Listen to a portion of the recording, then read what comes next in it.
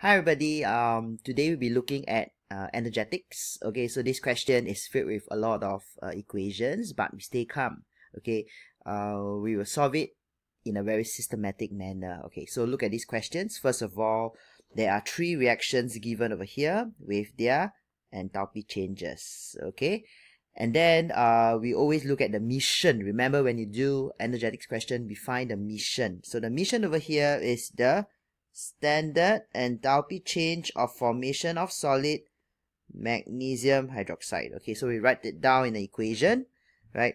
So over here is uh, magnesium, okay, solid, because uh, formation means the elements in their standard states, plus oxygen, gas, plus hydrogen gas, right? And then it gives you the solid magnesium hydroxide.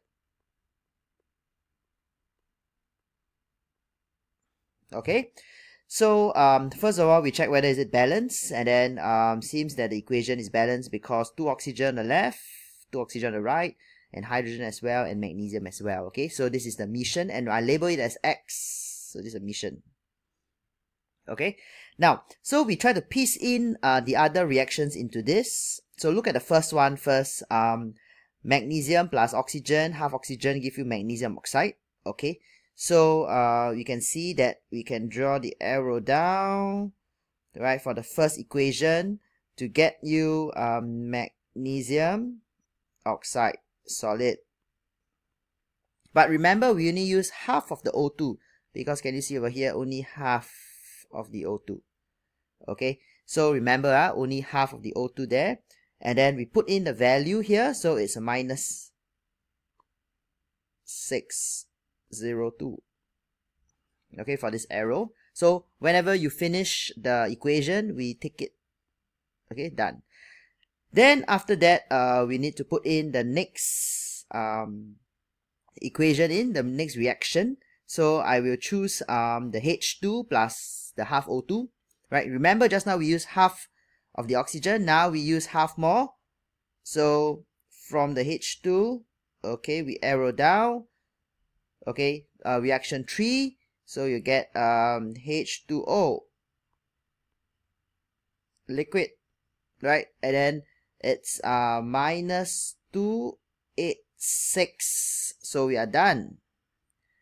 Okay, so you notice that um, we have two two reactions already completed. So now we try to piece the last one in and you notice that uh, MgOH2 solid, right, forms water as well as magnesium oxide. Okay, so um, you know, I put a plus here. So can you see this is the last equation over here whereby the enthalpy change is plus 37.1 and then third equation completed. Okay, so it's not difficult, right? Once you piece all together, we use Hess's law. Okay, so Hess's law means uh, clockwise equals to anti-clockwise.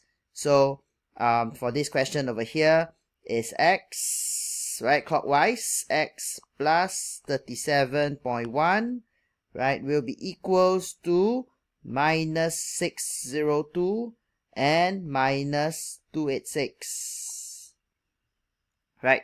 And then uh, once you get this, you can just solve for x and that is your final answer. Okay, so x and this is your final answer over here. Okay, so uh, not difficult. I say again for energetics, first step, write out your mission. And then after that, you piece in all the other reactions. Okay, and then finally, Hess's law clockwise equals to anti-clockwise. Okay, so that's also remember this method. Okay, I will see you again for other questions. Goodbye.